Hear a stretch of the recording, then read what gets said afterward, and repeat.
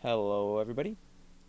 Nathan here from the Bible Animated, uh, and we're going to be giving you a quick run through of the different software that we are using pretty much across the border for all of our different programs. I'm going to go through in alphabetical order. So, first we have Audacity, which is a free digital audio editor. Right there, the web link is. Uh, we will be putting all the links to these in the video description so you can visit the websites, download them. Um, here it says it is available for Windows, Mac, GNU Linux. Um, most of the programs that we use are cross-platform, meaning they can work on Windows, Mac, and Linux. I believe the only exception is Kdenlive, um, but everything else I believe works cross-platform. So if you're running Windows or Mac, you should be able to use most of these programs as well. Uh, I mean, it's it's pretty much, you know, your standard audio recording program. Um, my levels evidently are way too high, which I don't know why. Probably because it's not recording from the right input. Input, um, but that's not really superly critical or anything. Actually, I know it's not because it wouldn't be recording stereo if it was. Um, anyways, be that as it may, I mean it's it's basically just your standard audio editor. Um, but you do have lots and lots of effects you can run on your audio. Uh, for the most part, I mean, there's not just like, oh, some super cool some things, but what we use most, amplify. In this case, nothing needs to be amplified. We're actually clipping a little bit in some places. Um, but pretty much we just amplify because recorded audio is not necessarily always the level you want and noise removal, which basic enough. You just say, I wasn't talking there and I know that's noise. So I want to do some noise removal, noise profile, and then I want to run noise removal again and clean out the noise. And then Actually, I know it's not it would be recording stereo if it was. Um, anyways, be that as it may. I mean, it's, assuming you could hear that. Um, I mean, again, it's it's pretty much just it took out a lot of the noise. There still is a goodly deal of noise in there, but like I say, it was recording through the cheap built-in uh, microphone on the laptop, so yeah, it's gonna sound pretty trashy. But it did take out a lot of the noise when using a higher quality microphone. It ends up pretty much perfect. So that is Audacity. Um, it's really about all there is to it. Uh, we also, it can import like MP4s and stuff. So, da da dum. So we do on wrong place. Da, da, da, on recorded videos, sometimes, not always, because the uh, camera actually does a pretty good job with the sound. Um, see like here we could say this this audio is a little quiet we might want to amplify it. And it'll automatically figure out what the max is it should go to and we'll say you know there's a little bit of noise here we want to take that out.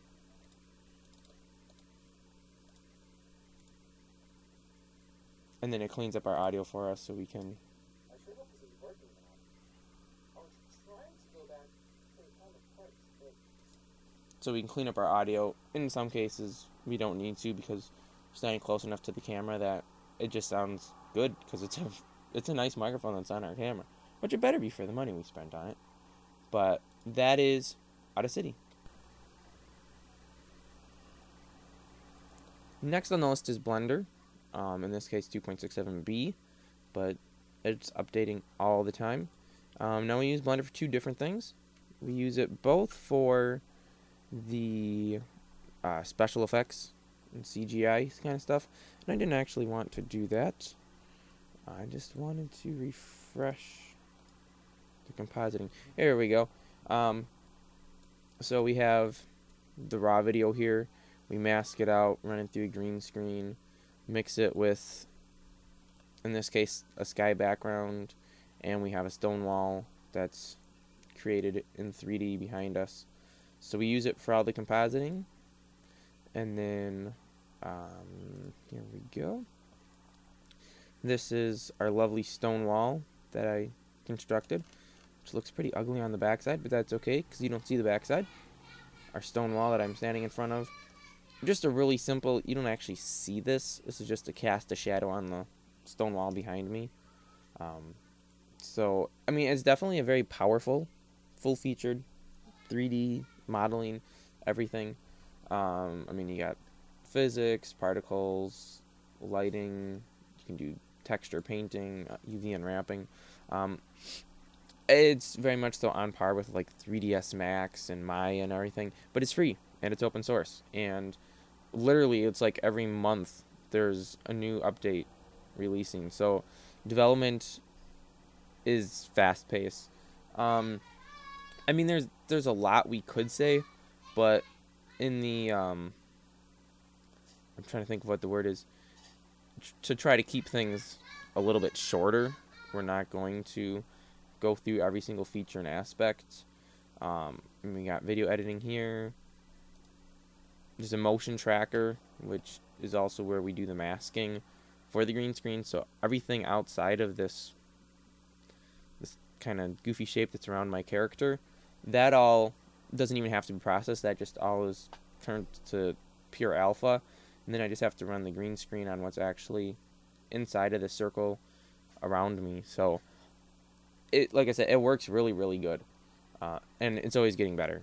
So if you are looking for a program to use for either green screening or motion tracking, special effects, trying to make something in 3D, um, it has an excellent, fairly photorealistic render engine called Cycles and then it has the older internal render engine, which is not as photorealistic, but on an older computer. Um, it, it's definitely a lot faster than Cycles, but you don't get the same high quality lighting and realistic bouncing of lights and stuff. Uh, though you can pretty much fake all of it. It just takes a little more work on your part. Um, but like I say, we could go on and on about all the different features. Uh, if you guys do want tutorials on any of these programs, let us know. We'll see what we can put out. Otherwise, there are a lot of other tutorials out there that are really, really good tutorials on Blender. Uh, probably on all the other programs we're mentioning as well. So, I mean, just take a look on YouTube. You'll find them. But if you would like us to create tutorials, drop us a line, let us know, and we'll see what we can put out. But in a nutshell, that is Blender.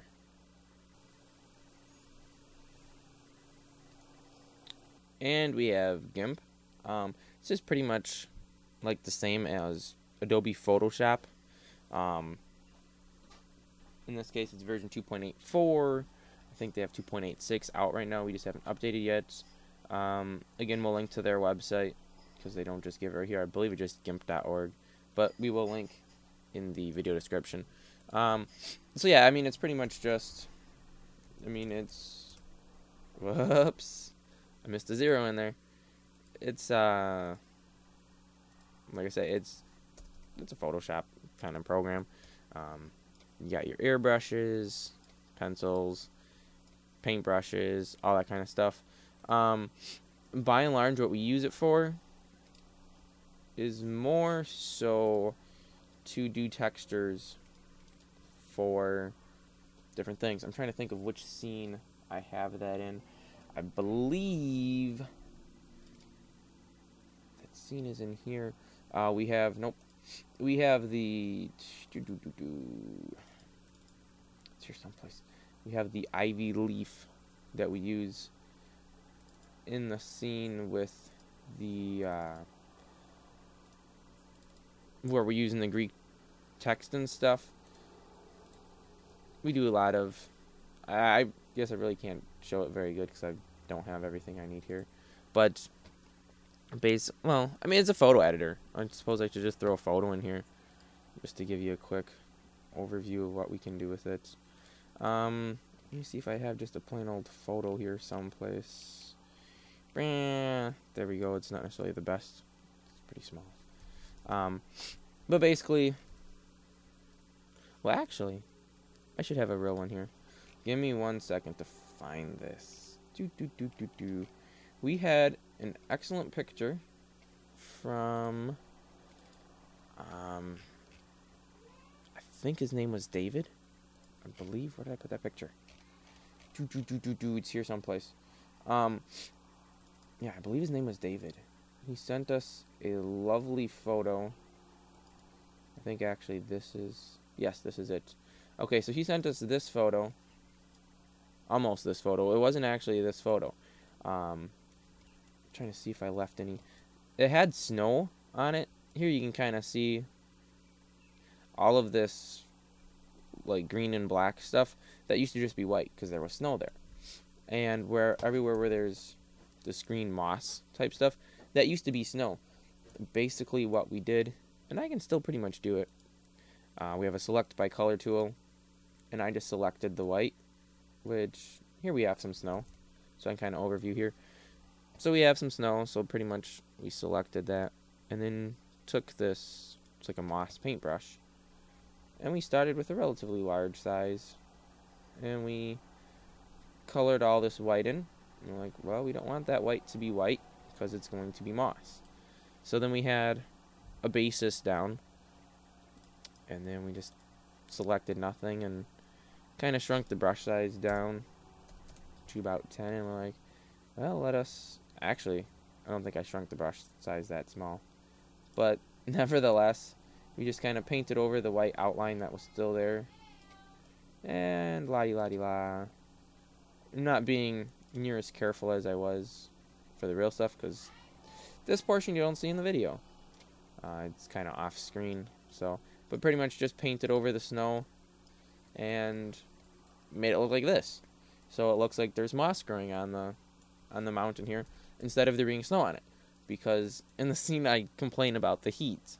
Well, if there's snow out, why am I complaining about heat? So it made it a little more suitable for the purposes. Because this this was like exactly the kind of the kind of picture we wanted. You know, me as the slightly delusional scientist, you know, used the time machine and I was thrown to some random place and I was complaining that, you know, these trails are hard on my feet and I'm not used to this. This has a really rough, rocky appearance. So this was exactly what we wanted, but it had snow on it. And I was like, we can't use snow because it needs to be in the summer. So did a little creative work on it and turned the snow into moss. So like I said, it's it's a Photoshop replacement.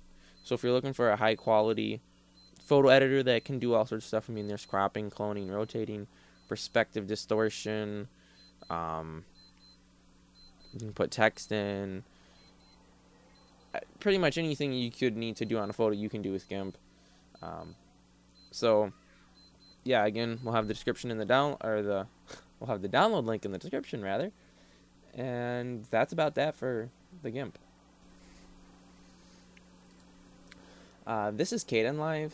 This, I believe, is the only program that is not cross-platform to my knowledge, this is only a Linux program. There is some live bootable DVD version thing that you can use, which pretty much is you're booting Linux onto your computer so you can run Kdenlive. Um, I tried it uh, probably about two years ago before I made the switch to Linux for just because I was sick and tired of Windows. and um, I never got it to work. So I don't know if I was just doing something wrong or if the computer I had at the time couldn't process it. I don't know, but it didn't work. Um, by now, though, that could have totally changed, and it, it might be working perfectly. I don't know. Um, but this is a video editor. Um, for us, we're pretty much just putting the clips together. We're really not using any sort of too many special effects. We do about, sorry, we pretty much just do like an alpha gradient, which, um, let's see if we can actually get that to show. I don't think I can because I'd have to put a put a composite on here so that alpha gradient would have something to work with. Which go to a black. I think. Okay, yeah. So, I mean, this is what we use for like the uh, um, fact sheets. When we have the text fade in, we're using an alpha gradient to do that. Um, it's really, I mean, it's pretty much we're just using it to put our clips together here. Uh, it does have its own green screening. Um, they call it blue screen, but it is basically a green screen. It's really not gonna show too much here because, well, a my green screen is pretty bad. So we might be able to get a little bit going here by doing that. Actually, that it doesn't work too bad, but because of all the stuff that's around me, we can't just run the green screen right through here. Um, it is kind of resource intensive and process heavy. Um, so I had to use this is actually an outtake scene here. Um, so far we have three outtake clips from the entire movie. I was gonna actually load up the real video project, but I couldn't play anything from that because they're mostly all slideshow clips, which basically is one photo for every frame, and the computer we have just can't process that kind of data that quickly. But I think that was probably garbage. That's my favorite outtake so far. Me saying I think that was probably garbage after recording a clip. Um, so yeah, it can play the actual video, even though this is 60 frames a second. It can play it, but as a um, as an image sequence, it just can't process that kind of data fast enough. And it's nothing wrong with the software. Um, if if I had like an i7 processor in my computer here, and I have 8 gigs of RAM, so I don't think RAM's an issue. Uh, it could probably do it, but I don't have that kind of money to throw at a computer for this project, so don't have that. Um, but pretty much, I mean, you have that. You can uh, do little transitions between between the clips, which it's probably not going to want to play very well. But you have that. Um, I mean, it's it's a video editor. I really don't know. It does have. I guess I can kind of just show all the different effects here. You have tons of audio effects. Um, I think actually, because of the nature of open source, sorry about that airplane flying past. Most of the audio effects that you get in here are also actually in Audacity because they're both pulling from the same library. Um, but you have like color color correction. They use OUR because they're based over in the UK, I guess. Crop and transform. You have different fades. You got fun little effects, charcoal, vignettes. You got some miscellaneous stuff, which like cartooning. That actually. Yeah, I mean it's it's really not cartoon cartoon, but it simplifies colors, puts black lines between different enough colors. Whatever. But yeah, you got goofy effects. Um, they're trying to put some sort of motion tracking into here. Uh, I don't think it's gotten in yet in the version. In the developmental version, I believe it's in there. Um, but it's pretty slow as of yet. It also has DVD Wizard, so you can create the DVD from your video. Um, I don't actually know if we're going to be using the DVD Wizard in here when we go to make our DVD or not. Um, that kind of remains to be seen. That's kind of far away yet because um, there's a lot of work that has to be done after the video is finished before we can put it on the DVD. Uh, but that's pretty much Kdenlive. I kind of talked a lot and really didn't show much. But video editor works excellent. I highly recommend it if you are running Linux. This is uh, Krita. Here we go. This one I think actually may as well be just Linux. I'm not positive. Um, just check out the website, krita.org. Um, it's more of a paint program than GIMP is. Um, GIMP's more for like editing photos, whereas Krita is actually for like digitally painting. If I had my tablet plugged in, which I don't, um, you could see all the differences because they have like the the different pressure presets kind of stuff. So when you're using a tablet, the hardness of how you push actually affects stuff. Using a mouse, you do not get that at all. Um, for some reason, that's not working. But it has all these different brushes, different styles of brushes. Again, if I had my tablet plugged in, you would be able to see this. This is a really cool brush, actually. It kind of, when you turn it, it does cool things. Um, but be that as it may, you've got like all the different hardnesses of the pencils, rakes to go through the colors, um, splatters, heavy splatters, blotchy splatters. Just a real basic one pixel brush. So lots and lots of an eraser. Lots and lots of options. Um, and you can really you got layer control and everything, but you can edit these brushes too to like as much as you possibly could imagine. This is really, really powerful for painting. There are several. How do I make that go away? There are several guys that are like professional artists in the Linux community, um, and outside of it as well, and they use Krita for their painting. They make stellar work. I mean, this is like. I would definitely, if you're into digital painting, I would recommend Krita over GIMP.